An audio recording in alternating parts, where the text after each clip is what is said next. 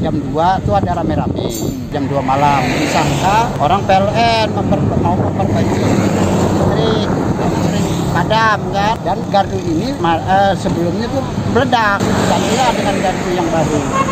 Ternyata uh, rame-rame itu orang liar.